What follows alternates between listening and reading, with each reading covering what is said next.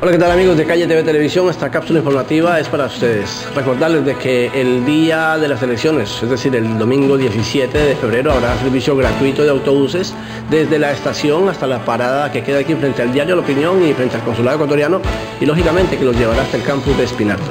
A todas las personas que siguen empadronadas aquí en Murcia y que lógicamente tienen que votar aquí, pero que viven en Yecla, que viven en Jumilla, en Cartagena, en Lorca, eh, también pueden eh, acceder a los servicios gratuitos para todos ustedes. También informarles de que el día 18 y 19 no se estará elaborando atendiendo al público por eh, el conteo y el registro de, los comicios electorales. Esta cápsula informativa es para todos ustedes. Gracias por seguirnos. Ya lo saben, somos Calle TV Televisión, cubriendo la noticia al momento de la mano del Consulado Ecuatoriano.